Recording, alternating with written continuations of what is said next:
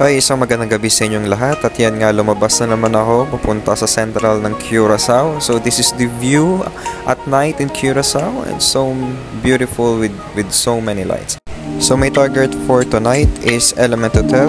Sabi nila napaka-peaceful daw ng lugar na to at may enjoy mo talaga yung view sa top deck nila dahil maaliwalas at mahangin. So yan, naglahad lang ako guys. Tara, samahan niyo ako.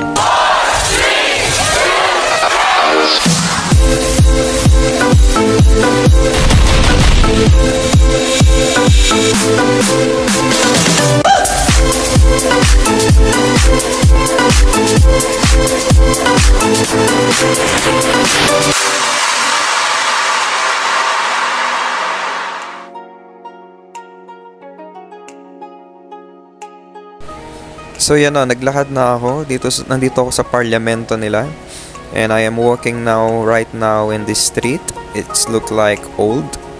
And uh, the structure of the building is different.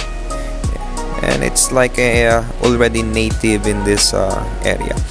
So yan, mumunta ako sa souvenir dahil gusto kong bumili ng mga pang baon lang.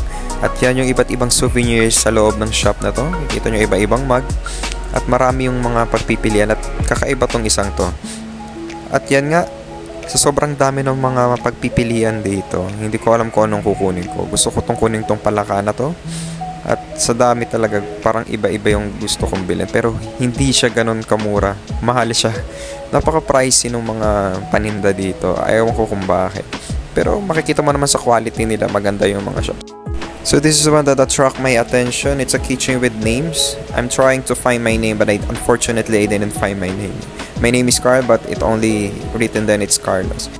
I was amazed because our language, Filipino language is written there. Maligayang pagdating. So sa Curacao, nakakaiba dahil makikita mo yung Tagalog words na naka-display doon mismo sa street nila. So ayan, I bump it up into these three hearts. And this is full of locks and uh, I think all the lovers put their names on it and then lock it so I think all the tourists do this in here. So I think so yung mafe-feature nating name dito baka alam mo na biro lang. So yan.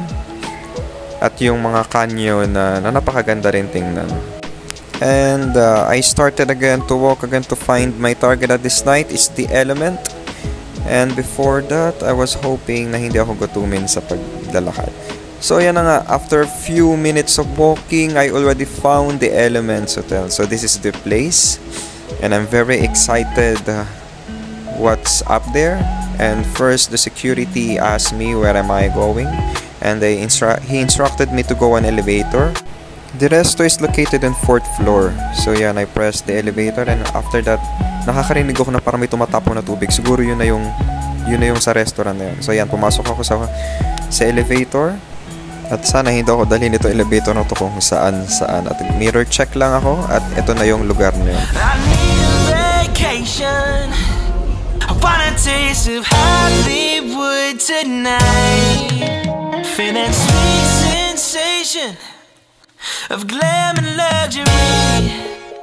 Alright, hey, maybe I like it. Oh, I like it. When all attention's on me, maybe I need it. I need it, babe. To let loose for a crazy week. And though I'm gonna run.